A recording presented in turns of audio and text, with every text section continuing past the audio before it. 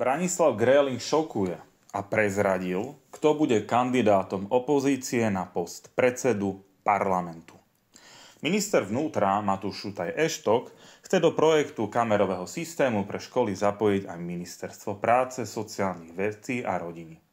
Vyhlásil to v relácii o 5 minút 12. Predseda EZAS Branislav Gréling opätovne vyhlásil, že zhoršenie bezpečnostnej situácie spôsobila vláda svojou politikou.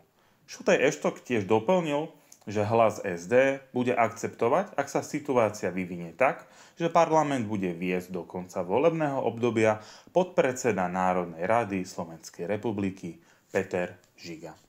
Citujem. Chceme, aby tie velíny obsluhovali ľudia so zdravotným znevýhodnením. Povedal ku spolupráci s ministerstvom a zopakoval, že bombové hrozby sú vážnou témou a politici by si z nej nemali vytlkať politický kapitál. Podľa Grélinga na Slovensku učitelia suplujú pyrotechnikou. Odvolal sa pritom na medializovaný prípad, keď riaditeľka školy prehľadávala na údajný pokyn polície budovu sama so školníkom. Dodal, že poslanci za SAS v útorok 11.9.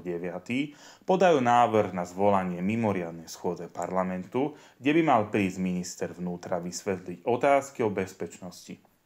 Šéf SAS tiež chce požiadať o spoločné rokovanie parlamentno bráno bezpečnostného výboru a výboru na kontrolu činnosti Slovenskej informačnej služby.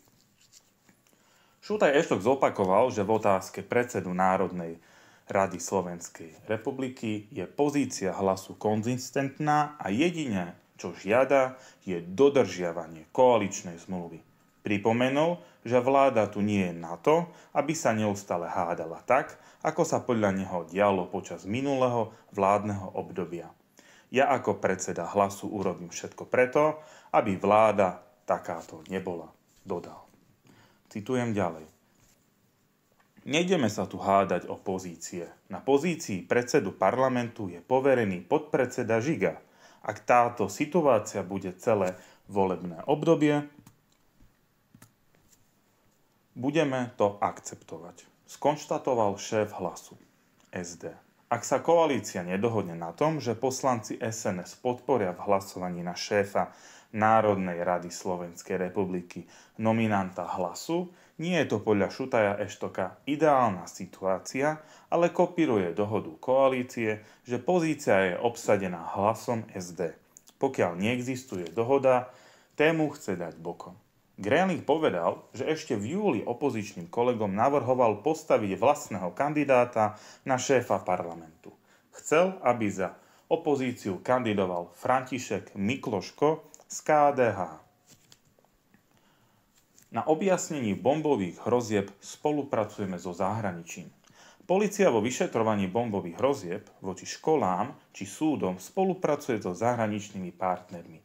V diskusnej relácie STVRO 5 minút 12 to vyhlásil minister vnútra Matúš Šutaj Eštok. Na identifikáciu útočníka Slovensko pracuje aj so zapojením zahraničných bezpečnostných služieb.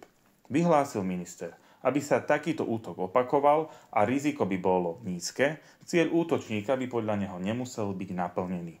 Šutaj Eštok tým reagoval na otázku o medializovaných zisteniach českých novinárov. Tí majú komunikovať s anonymom, ktorý tvrdí, že rozosiela e-mailové hrozby na Slovensku a v Českej republike.